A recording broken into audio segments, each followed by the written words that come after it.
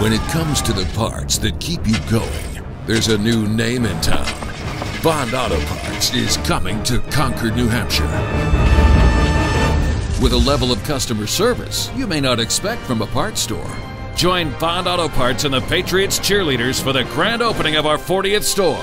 Bond Auto Parts, New England's local parts store.